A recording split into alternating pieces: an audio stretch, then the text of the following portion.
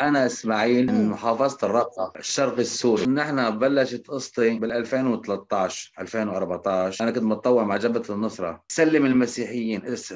سؤال إنه قول لهم وين هن موجودين؟ كرمال اقبض عليهم مصاري. ليوم من الأيام صار معنا اشتباك الفصائل ببعضها. كرمال الموضوع اضطريت إني أضرب واحد. كسرت له الصليب دعست عليه بزقت عليه. وقعت منه يحكي معي عايز يسبني مثلا ما حكى معي شيء تركني وفل. قعد فترة وأنا صار اشتباكات مع داعش. بال 2014 2015 أه تصوبت أخذوني على مطرح العيد. طببوني عالجوني. تفاجئ بالمستشفى بالمستشفى ميداني واللي هو اللي الشاب اللي بزقت عليه واللي ضربته هو طلع راهب. أنا ما كنت بعرف إنه راهب بكنيسه طلع فيه وعم يعالجني. قال لي أنا المسيح بعثني لعالجك.